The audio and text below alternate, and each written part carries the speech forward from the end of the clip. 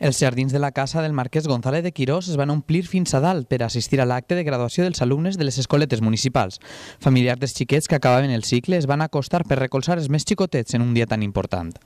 Un jardí engalanat per a l'ocasió on, un a un, els alumnes d'últim curs de les diferents escoletes municipals de la ciutat van anar desfilant amb toga i birret per a replegar el seu diploma.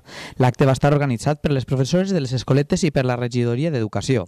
L'alcalde de Gandia, Arturo Torró, acompanyat de Marta Chafe, regidora d'Educació i altres membres del govern, van ser l'encarregat de presidir l'acte i de repartir els diplomes als xiquets.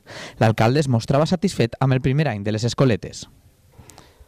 És el primer curs de xiquets de les escoletes i per tant, bueno, un dia molt bonic, molt emotiu, anem a, a fer-los la foto de despedida i ara sí ja van a escola a escola eh?